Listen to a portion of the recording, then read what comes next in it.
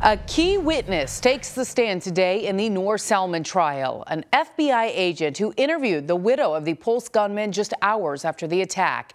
The agent testified Salman told him she knew about her husband's sinister plot. News 6 investigator Mike DeForest is live at the federal courthouse in downtown Orlando. And Mike, this case may hinge on whether the jury believes that FBI agent. That's right, Lisa. Today, Ricardo Enriquez testified in court today that he wrote down Noor Salman's statement word for word. If it came out of her mouth, he says he put it down on paper. In this statement, Salman admits, or allegedly admits anyway, that she knew her husband was planning jihad, that he was buying up weapons and ammunition and scouting out targets. FBI agent Ricardo Enriquez says that while questioning Noor Salman about her husband Omar Mateen, she began to cry and said, quote, I knew.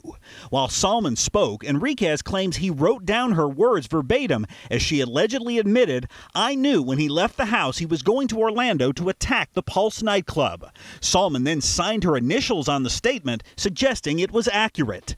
But since the conference room where the questioning took place did not have cameras, the jury will have to trust the FBI agent's writings. These aren't her words. They are purporting them to be her words. In one part of her statement, Salman allegedly told the FBI agent that a few days before the attack, she and her husband drove around Pulse for about 20 minutes.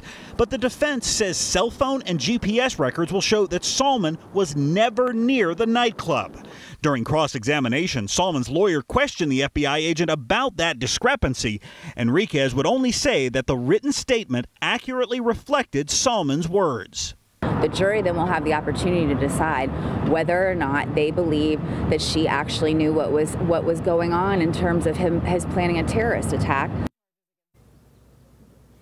and not just knew about it, but also provided assistance. Now, earlier today, Enriquez testified that he did not know the name of the nightclub that was the that was attacked, and that it was Noor Salman who used the word pulse, saying that was her word, not his. But uh, the defense is trying to suggest that perhaps that FBI agent heard about the Pulse nightclub while watching the news earlier that morning, and then put it into her written statement.